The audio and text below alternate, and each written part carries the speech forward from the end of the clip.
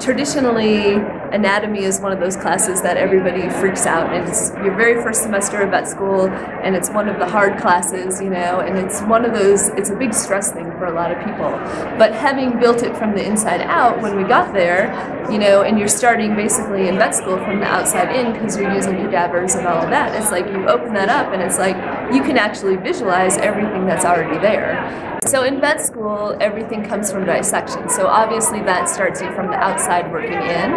and it gives you more of a picture of what you're looking at versus the whole system. So, and that is important because you know in surgery and all of that, that's really are what you're getting. You're getting the snapshot of the area. But having had the background of building everything from the inside out, then when you're looking from the outside in, if everything makes sense because you've already seen those, you've already built them, you obviously already own them, and by building them, you know, in vet school traditionally how people learn it is you memorize the origin, the insertion, and the function which by being able to build it,